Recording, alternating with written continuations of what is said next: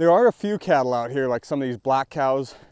They have some embryo transfer calves actually. Like that heifer there is a purebred Charolais, but raised, being raised by a black cow. Took the embryos out, fertilized them and put them into a recip cow they're called. So these calves, buyers love buying them. The Charolais are known for high yielding of red meat, you know, not much wasty fat. In terms of carcass grades and yield grades, a yield grade one being the best, a yield grade five is fatty and wasty. You know, these Charolais, they'll all grade choice to prime and be a yield grade one and two. They'll grade well and they'll yield phenomenal. You know, you just can't make feeder cattle any better than these.